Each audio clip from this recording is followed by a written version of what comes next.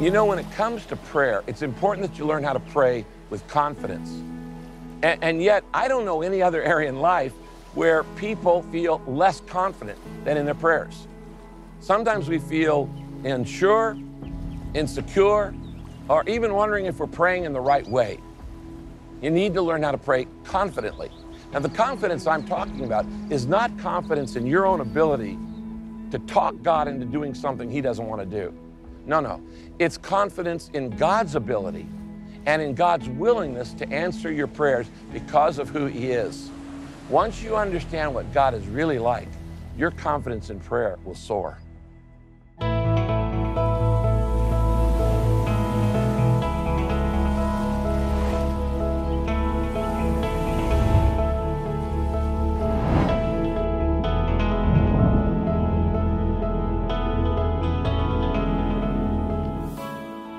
Welcome back to session two of 40 Days of Prayer. When the disciples asked Jesus to teach them how to pray, the very first words he spoke were the last words they expected to hear. He said, Our Father. Our Father. And with just those two words, Jesus broke through all their stereotypes about God. Did you know that in all of the Old Testament, for uh, thousands of years, the word Father is used for God only about a handful of times, and it is never used in personal prayer.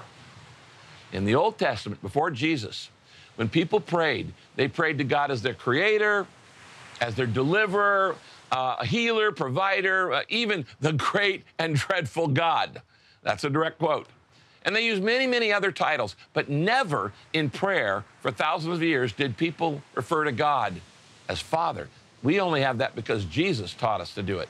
Jesus challenged all of that and in fact, Jesus referred to God as Father over 150 times. He really wanted us to get this message. He wanted us to know that God is not simply a power, He's a person. God is not simply a force, He's our Father. Actually, the New Testament word for Father is the word Abba, A B B A. It's not the rock group, it's a fancy formal title. No, no, no. It's an endearing expression. Abba actually means papa. It means daddy. It's a term of endearment. It, it's a term of love and security and familiarity. And so Jesus is telling us that when you pray to God, our Father in heaven, you're actually talking to your daddy, your Abba. It's the first words a, a little child in the Middle East learns Abba, Papa, Dada. It's a very easy word. It means daddy. Now, this can be a hard truth for some people to accept because they had a lousy relationship with their earthly father. So the idea of God as their heavenly father opens up deep wounds and painful memories. What about you? Maybe your, maybe your dad was mean to you. Maybe he was unreasonable. Maybe he was unreliable. Maybe he was abusive. Maybe he was absent. And so when you hear the phrase, our Father in heaven, you think, well, wait a minute. If God's like my Father, no thanks God and you tend to transfer all your hurts and your emotions about your heavenly father onto your I mean about your earthly father onto your heavenly father. It's no wonder you don't understand God and it's no wonder you don't feel confident in talking to God. So friends, it's time for you to trade all your previous misconceptions and myths that you may have had about God for the truth about who God really is and what He's really like. Because when you understand what God is really like, you understand the kind of Father your Heavenly Father is. When you truly know Him, you're going to feel more confident in prayer, but you're also going to learn to love Him deeply. And that will radically change your prayer life. It'll enable you to pray with confidence more than ever before. So, in this session, let's look at what kind of God is God? What is God really like? What kind of father is He? Well, the best place to find the answers to those questions, of course, is in the Word of God. So let's look at four biblical characteristics of God as our Father. When you understand what God is really like, your confidence in prayer, and talking to God, is going to excel. Now, the first thing we know about God is this God is a caring father. He's a caring Father. He cares. God loves you more than you'll ever understand. He loves you more deeply and more compassionately than any earthly father could ever love a child because he's perfect. God loves you more tenderly and more faithfully than any earthly mother is capable of loving her child. In Isaiah 49, God says this Can a mother forget the baby at her breast and have no compassion on the child she has born? The answer is obviously no. Then Isaiah continues, though she may forget, I will not forget you. That's God talking about you. Nothing can stop God from loving you. Not your failures, not your attitudes, not your sins, not your stubbornness, not your mistakes, not your faux pas, not your failings. Nothing can stop God from loving you.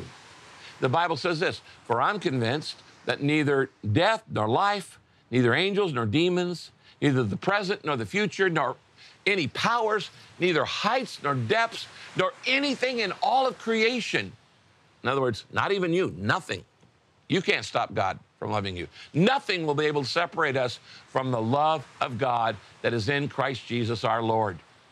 You can't make God stop loving you. You can try, but you'll fail because his love is based on who he is. You know, sitting here on the beach on a beautiful day like this, um, you can feel pretty calm and peaceful. But I've been on the ocean sometimes when storms are raging, and I've been out in boats when the, the seas are very, very choppy, and it can get pretty frightening. That reminds me of one of my favorite passages in the Bible. It's when the disciples were in a boat in the middle of a storm, and Jesus was asleep in the back of the boat. Now, get the picture. Does it ever feel like Jesus is asleep in your boat? and you're going through a storm and the waves are lapping and the boat is rocking and tilting and you're scared to death? You don't have any confidence at that moment. In that moment, the disciples thought they were going to die. The storm got so bad out there on the sea. So the Bible tells us they woke up Jesus and they said, Lord, don't you care if we drowned? You know, the, the whole thing's, we're all in a storm, we're about to sink, and you're sleeping. You know, that's a question that all of us have asked the Lord at some point Lord, don't you care? Lord, I'm here drowning. I'm drowning in fear. Don't you care? Don't you care about that doctor's report I just got? Lord, I'm drowning in tears. Don't you care about the mess my marriage is in right now? Lord, I'm drowning in debt. Don't you care about my finances? I'm in a hole I'll never get out of. Lord, I'm drowning in anguish. Don't you care about the trouble that my kids are in right now? Lord, don't you care? Are you just sleeping in the boat while, while the storm is about to capsize us?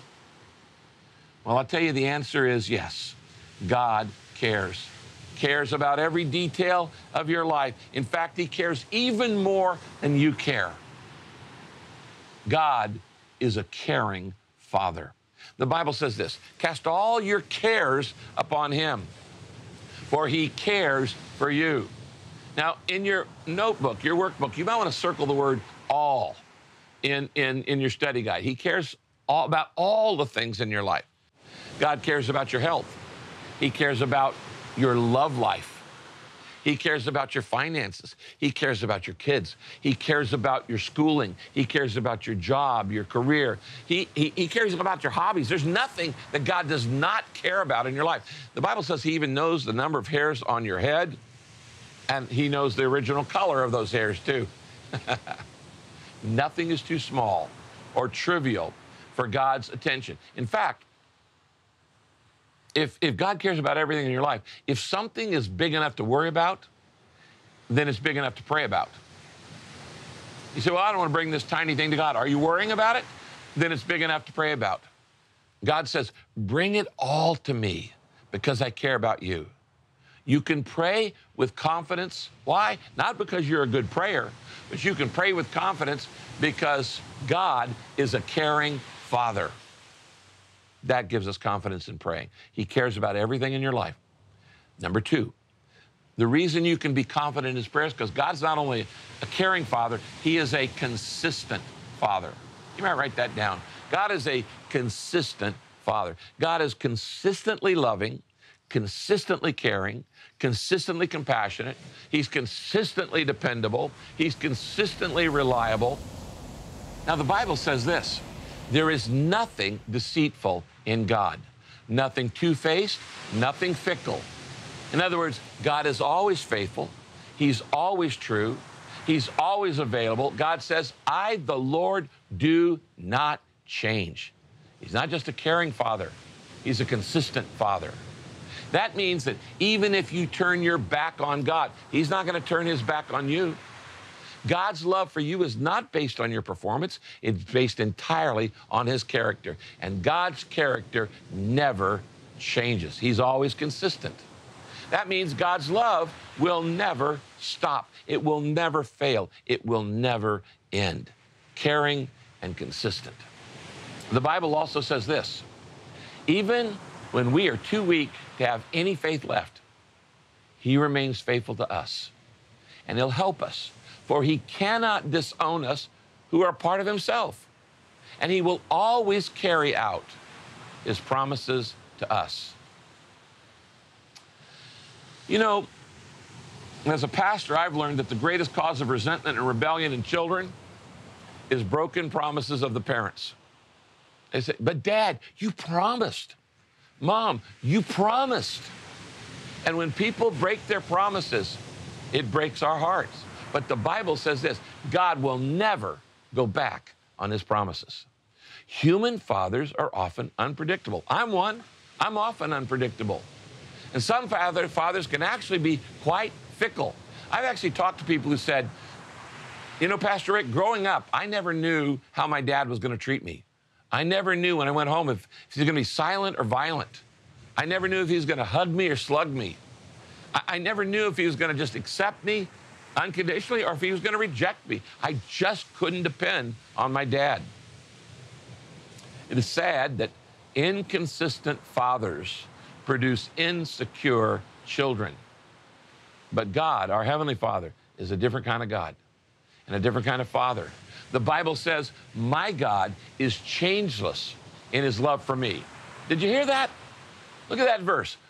My God is changeless in his love for me. No matter what you do, God's love for you will never change. You can pray with confidence because God is not just a caring father. He knows everything about you and he cares about it, but he is a consistent father. You can count on him. Now, there's a third reason that you can be confident in prayer. You don't need to worry. You don't need to stress out. You don't need to get uptight about prayer. And it's because of this God is a close father. He's a close father. That means he's not distant. He's not an absentee father. He never ignores you uh, or, or tells you to go away. He's not unavailable when you need him. In fact, God promises the opposite. He, he promises to always stay by your side. And in Hebrews 13 5, he says, I will not in any way fail you, nor give you up, nor leave you without support. I will not, I will not. You see how, how adamant God is about this? I will not in any degree leave you helpless, nor forsake you, nor let you down, or relax my hold on you. Assuredly not. Do you remember how many nots and negatives are in that verse? I mean, how can he say it any more strongly? What more will it take to convince you of God's loyalty God's faithfulness to you. God never stops thinking about you. There is no moment, no second of your life. Before He made you, He thought about you. You were always on His mind. That's why we pray confidently. The psalmist wrote, How precious are your thoughts about me, oh God. They cannot be numbered. I cannot even count them. They outnumber the grains of sand. Look at this beach behind me. You couldn't count the number of sands on this beach, much less the sands of all the beaches in all the world. Over and over again in Scripture, the Bible compares the vastness of God's love for you to the grains of sand on an ocean beach. So every time you go to the beach, I want you to think about how much God loves you. If every grain of sand, you put it under a microscope and you wrote it, or you read it, and it said, I love you, I love you, I love you from God, you still couldn't understand how much God loves you. The grains of sand on a beach represent how much God loves you. Now, I want you to consider three encouraging truths about the closeness of God. First, God is never too busy for you, He's just not. He never says, Excuse me, uh, take a number, come back later. Uh, there are more important people ahead of you. Uh, the, the lines are jammed. I, am busy. Uh, let me put you on hold. God never puts you on hold. The Bible says this Though my father and mother forsake me, the Lord will receive me. He's always close. And you can come to Him at any time, at any time of the day, with any kind of request. And He never gets tired of hearing your voice, hearing your request. That gives you confidence. Second thing, God loves to meet your needs. That's why his name in Hebrew, Jehovah Jireh, uh, is, is given as one of the names of God. What does Jehovah Jireh mean? It means the Lord who provides. What do you need provided in your life right now? You can come to God with a thousand requests a day with the exact same prayer. You can say it over God, I need your help again. With that temptation, with that problem, with that fear, with that envy, with that resentment, with that memory. God, I need your help again. I need your help to not be afraid. I need your help to calm my anger. I need your help to know which direction to go. And God never gets tired of taking care of you. The Bible says this if you then, though you're evil, in other words, you're imperfect, you, we sin, you know how to give good gifts to your children, how much more will your Father in heaven give good gifts to those who ask Him? God is close. The third thing that we learn from God's closeness is that because He's close, God is sympathetic to your hurts. He's not distant. He's, he's up close so He can see and feel and hear how you're hurting. Some of you had fathers who tried to toughen you up when you're hurt. And when you got hurt, rather than sympathizing and empathizing, they said things like, you know, man, get over it. Quit being a baby. Be a man. Grow up. God does not say that to you. The Bible says this.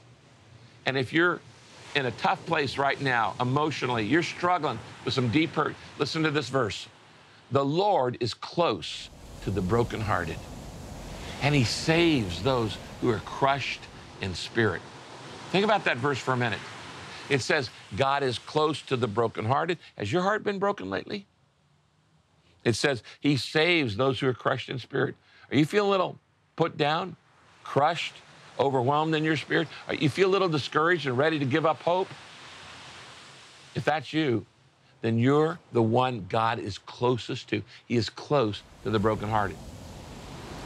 The Bible says it over and over, like this verse God is our refuge and our strength, an ever present help in times of trouble. He never gets tired of comforting you. He's a caring, consistent, and close father.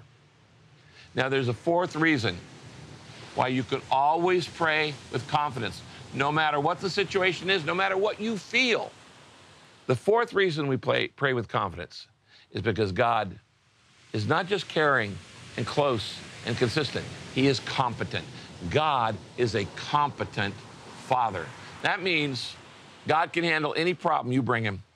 There's no challenge beyond His ability, there's no question above His wisdom. There's no need that's going to exhaust his resources. The Bible says this nothing is impossible for God. What in your life have you acted like was impossible for God to do? In fact, the Bible tells us Ephesians 3:20, God is able to do far more. Circle that. God is able to do far more than we would ever dare to ask or even dream of. Infinitely beyond our highest prayers, our desires, our thoughts, or our hopes. Now, think about this the vastness of this ocean behind me. I'm sitting here on the California coastline. The Pacific Ocean goes all the way over to Asia. In that vastness there, the God who created an ocean that vast is able to do infinitely beyond your highest prayers, desires, thoughts, or hopes. So, think of your biggest problem. Think of your greatest dream. Think of your most daunting challenge that you're facing right now. Think of the biggest fear that's limiting you. Not only can God handle that, God says, I can do more than you can even ask, imagine, or dream of. So let me ask you a very personal question. What are you imagining God can do in your life? Don't limit God. What are you afraid to ask for? What are you afraid to dream of? Don't be afraid. What are, you, what, are your, what are your expectations? God can exceed them all. The Bible says this no eye has seen, no ear has heard, no mind has imagined the things that God has prepared for those who love Him. So let's review. The reason we are confident in prayer is four things God is a caring Father. There's never been a time that God did not care about every detail of your life. Two, He's a consistent Father. He has never changed in His love. He's not moody or fickle. He is an unchangeable Father. He is a close Father. And even though you may have run away from Him, and maybe you're far away from Him right now, He's never forgotten or abandoned you, not for a single moment. Just because you don't feel close to God doesn't mean He's not close. God is as close to you as your prayer. And then finally, God is a competent Father. There's nothing too hard for Him. He can handle every problem you face. And God can do anything so prayer can do anything. God says, when you pray to me, you're talking to your Heavenly Father, to your daddy, to your Abba, to someone who loves you. So let me ask you a very important question. I want you to consider this seriously. You may have been in church all your life, or maybe you've never even darkened the door of a church. Are you certain that God is your Father? Because not as God is not the father of everyone. God is the creator of everyone, but he's not the father of everyone. Let me explain this. The Bible tells us that God created everybody, that God has a purpose for everybody's life. Not everybody lives it. That God uh, wants everybody in his family, but not everybody's in it. You see, God loves you. He made you. He has a purpose for you. He wants you in his family, but you're not in his family. He's not your father until you place your faith in his son, Jesus Christ. The Bible says, to all who receive him, talking about Jesus, to all who receive Jesus, to those who believe in his name, God gives the right. He gives them the right to become children of God. That's how you get in God's family. When you place your faith in Jesus Christ, you believe and receive, then God becomes your caring, consistent, close, and competent Father.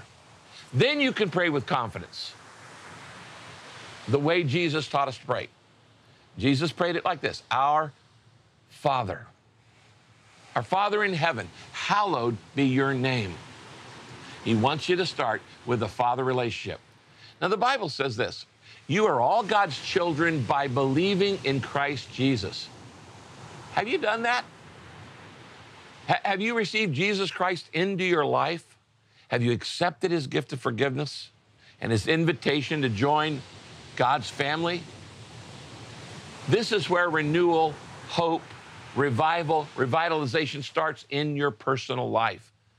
There's no greater hope than the hope of eternal life in Jesus Christ. And I want to give you the opportunity right now to make God your heavenly Father. He's waiting. Remember, He's close. He's waiting. And when you do this, then you can be confident that not only will your prayers be answered on earth, but you're going to spend eternity with Him in heaven in His home. Now, you may have been in church all your life, as I said, but to know about God is not the same as to know God. To, to, to, to believe in Jesus, I believe the Son of God, well, so does the devil, but you're not going to find Him in heaven. But when you invite Him to be your Father, your Savior, your Lord, then you become a part of his family. Would you like to do that? This is the most important moment of your life if you haven't made that decision. And it would be my honor to help you step across the line right now. So I want you to bow your heads with me. And I want you to pray this prayer, okay? Just bow your head. It doesn't matter the words. What matters is the humility of your heart. God responds to humility. So bow your heads and let's just pray together. Say this Dear God, just say that. Dear God, I want to know you as my loving Heavenly Father. I want to be your child. I want to be in your family. Thank you that you sent Jesus to make that possible. And so, starting right now, I want to put my faith in your Son, who you sent to earth to die for me. I don't understand it all, but as much as I know how, I want to turn from relying on myself to relying on you every moment of my life. I want to turn from my old ways, my sins, my mistakes, my self centeredness, and I want to turn and receive your gift of forgiveness. Thank you for not only being my father, but the fact that you are caring and consistent and close and competent. That's the kind of father you are. And I want to put my trust in you like I've never done before. And I humbly ask this in your son's name, Jesus. Amen. If you just prayed that prayer, congratulations. I'm so happy for you. You just stepped across. You moved to from life to eternal life. And the Bible says that God has so many things that He wants to do in your life, and He's going to do them through your request and prayer. Now, here's an important thing when you make something, a decision, you, you want to tell other people about it. I would encourage you to tell your group that in this prayer that you, you prayed it with me and you stepped across the line. They're gonna, they're, they would love to know that you made that decision. And uh, something real about telling them. If I got married and I, or I, I got engaged, I said, let's don't tell anybody about it. They said, what kind of commitment is that? You need to be proud of the fact that you have a Heavenly Father who's close and consistent and competent and caring, and He sent His Son to die for you. Now, I hope that you all have a great discussion time uh, now with your group, and I'll see you in our next session as we continue to look at 40 days of prayer. God bless you.